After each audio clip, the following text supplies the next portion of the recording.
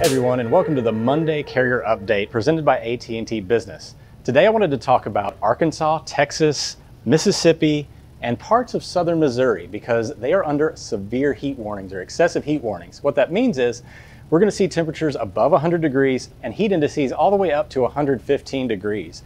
This area is known for reefer activity, a lot of livestock, a lot of poultry. If we look at the next chart, we're going to see this is the reefer rejection index for the Little Rock market. This is a huge reefer market because you have a lot of livestock, a lot of poultry, and you can see clearly that it averages right around 50% rejection rate. That's a lot of reefer activity. And down here on the bottom, you see that this is just the normal outbound tender rejection index running around about 13%. Now capacity in the rest of the market is very, very loose.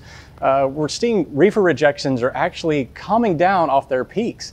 So anybody moving in this market today really needs to be aware of these temperatures. Make sure that you have your points set correctly on your units and have a great Monday. Improve your fleet's efficiency with AT&T Fleet Complete, a 4G solution for tracking vehicles and simplifying ELD compliance.